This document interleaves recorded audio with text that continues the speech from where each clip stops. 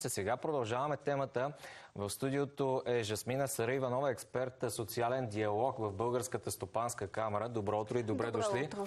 Госпожо Сараиванова, видяхте, чухте тази история от реалния бизнес. Какъв е първият ви коментар за тази варненска фирма, която е въвела 4-дневната работна седмица? Какво ви направи най-силно впечатление?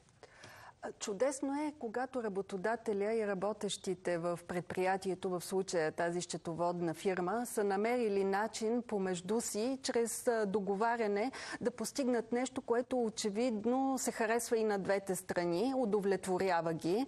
И това е един много важен момент в цялостните отношения между работодатели и работещи. Да могат те помежду си, без да накърняват изискванията на трудовото законодателство, да намерят един взаимоизгоден начин да провеждат своята работа. Това очевидно е постигнато във въпросната счетоводна къща и може да бъде само обект на адмирации. Очевидно, че там а, и трудовото възнаграждение не е намалено, по никакъв начин не е променено, отпуските са останали същите. Разбира се, въпроса с а, пандемичните условия и там се е отразил, но това е една а, свързана, но малко по-различна тема, която е за гъвкавите форми на труд, изобщо бъдещето на труда. Но що се отнася до идеята за 4-дневна работна седмица, а, за момента тя по-скоро е едно изключение. А, защото тя не е тема, която може да бъде разглеждана изолирано.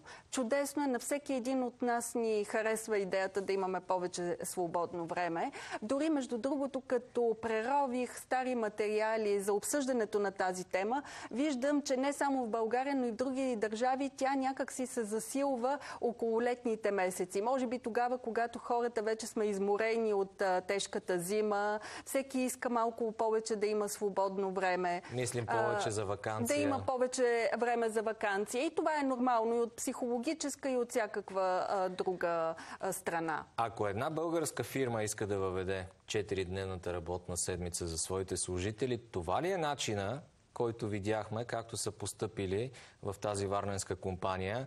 Няма нужда от някакво особено а, нали, преразглеждане на трудовите договори с служителите. Те, да, те остават на 5-дневна работна седмица, а, а третия почивен ден им се води нещо като бонус. Всъщност, нещата може би са малко по-сложни.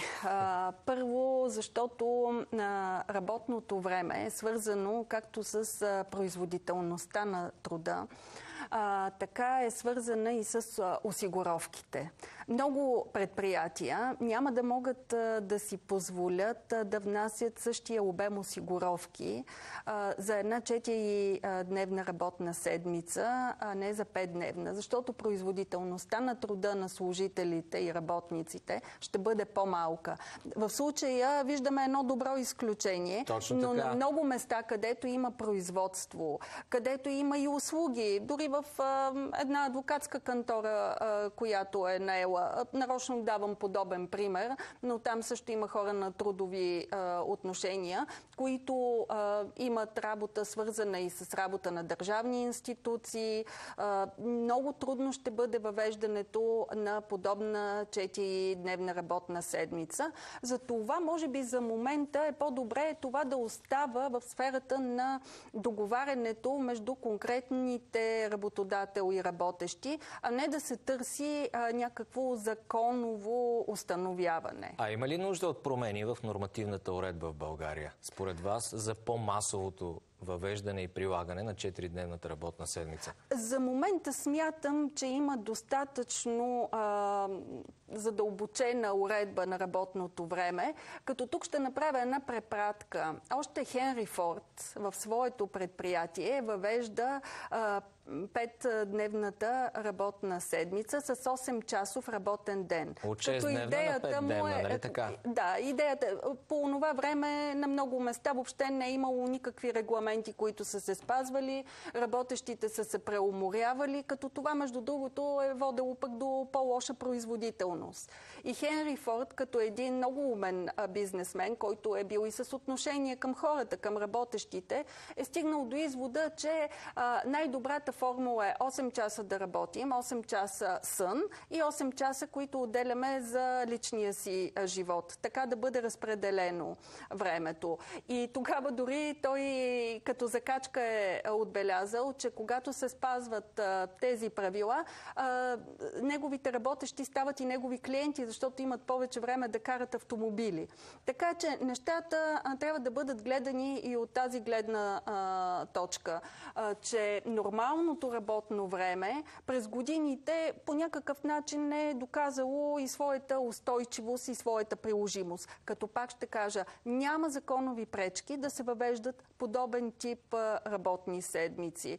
И щом в конкретното предприятие е преценено, че това удовлетворява всички, включително и клиентите, разбира се, то това е един добър изход. В Европейския съюз започнаха пилотни проекти да. в няколко държави за 4-дневната работна седмица. Присъства ли тази тема по отношение на създаване на някаква европейска правна рамка? А, Водят ли се първоначални разговори? Разговори а, в рамките на Европейския съюз непрекъснато се водят, правят се проучвания, а, но за момента, а, може би точно това искат да видят и те, как ще потръгнат нещата. Тези пилотни проекти в Испания и в Великобритания, как ще се пригодят дори към менталитета на отделната държава, на работещите. Може би пък ще има различия и в тази посока. Не, не случайно при трудовото право до голяма степен има координация, но не и пълно уеднаквяване, защото всяка една държава все още носи своите специфики по отношение на работните навици. Запазването на възнагражденията е един от вариантите а, при преминаване от 5-дневна към 4-дневна работна седмица. Служителите и работниците със сигурност ще бъдат доволни, но има страни, където по-късата работна седмица е съпроводена с пропорционално да. намаляване на възнагражденията. Справедливо ли е това от бизнес гледна точка? А, действително бизнеса не може да си позволи да заплаща повече, а, дори не казвам не иска, а не може да си позволи да заплаща повече за по-ниска производителност поради което, може би на много места, ако се въведе подобна 4-дневна работна седмица, трудовите възнаграждения, оттам и осигуровките ще бъдат намалени това няма ли да доведе до социално напрежение и на практика да стопира и има, има подобни, има подобни рискове, които по никакъв начин не трябва да се а, пренебрегват, защото осигуровките са а, от различно естество.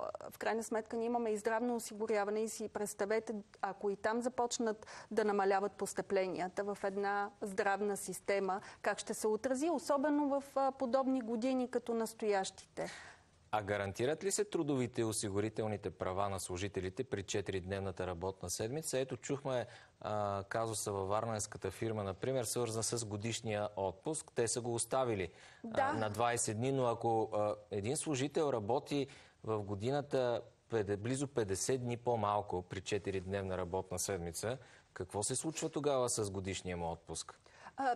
Тук мога само да предполагам, би трябвало да се запази годишният отпуск като размер, като минимум, който е уреден в трудовото законодателство, защото в крайна сметка целта на отпуска е психическото и физическото възстановяване на работещите. Пак казвам, това е само едно предположение, но въпреки това въпроса с осигуровките, други важни моменти, които са свързани с самата организация на дейността в предприятието, няма как да не бъдат засегнати.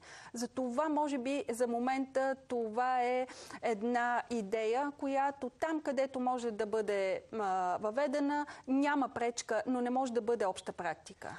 Преди месец стана ясно, че Япония планира по-масово въвеждане на 4-дневната работна да. седмица. Властите там изтъкват следния мотив така компаниите, бизнеса ще може да задържи кадрите и опитния персонал, който в противен случай би трябвало да напусне, ако се опитва да създаде семейство или да помогне на по-възрастните си родители. коментарът ви за социалния аспект на по-късата работна седмица? Първо, Япония има много специфични а, трудови навици. Там дори понякога преумората на работещите е в пъти по-голяма, отколкото тази на хората и от а, Европа, и от а, Америка, и от други континенти.